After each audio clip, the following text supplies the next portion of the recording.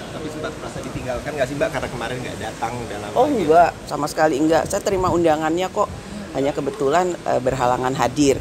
Begitu juga Ibu Ketua Umum karena pada pada hari itu eh, berhalangan hadir jadi belum bisa hadir. Jadi bukannya tidak diundang dan bukannya tidak mau hadir, namun eh, berhalangan hadir pada waktu itu. Jadi insya Allah pada kesempatan yang lain eh, PDI Perjuangan akan hadir.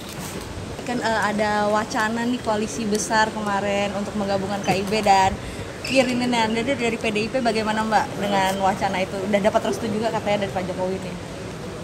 saya ada nonton di TV Pak Jokowi menyatakan bahwa em, silakan para ketum parpol yang kemudian menjalankan hal tersebut presiden akan menjadi pendengar itu yang saya nonton di TV pernyataan dari presiden jadi yang terbaik untuk bangsa dan negara yang terbaik untuk rakyat eh, tentu eh, PDI Perjuangan pasti akan mendukung hal tersebut Tapi setuju nggak sama koalisi besar ini? eh, koalisi itu kan sebenarnya bisa dilakukan jika kemudian visi dan misi atau kemudian cita-cita dari semuanya itu bersepakat untuk bisa sama-sama melakukannya. Jadi ya setuju kalau memang itu dilakukan dengan cita-cita dan visi misi yang sama untuk Indonesia.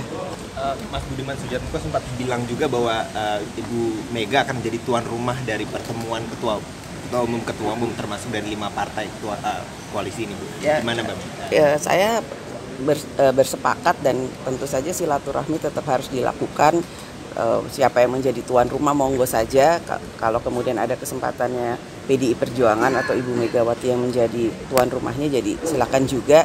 Nah, yang pasti di bulan Ramadan ini kita jalankan dulu ibadah dengan sebaik-baiknya.